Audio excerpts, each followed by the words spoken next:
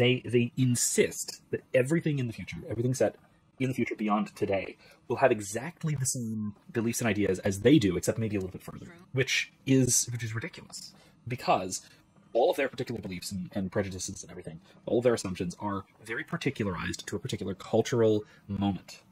In other words, the early 21st century. In any case, it is it's very naive of them to think that uh, that the particular idea we have, an idea that we have today of uh, gender identity and all that, are going to be exactly the same in seven and a half hundred years or eight hundred years. It's ridiculous, and, and, it really it really sets these uh, these science fiction stories very much in the present rather than in the future. Whereas what we should have, what I think would be uh, what I think would be far far better, uh, would be something like uh, cultures with their own weird little works. That would be far far more realistic, especially for being in the future.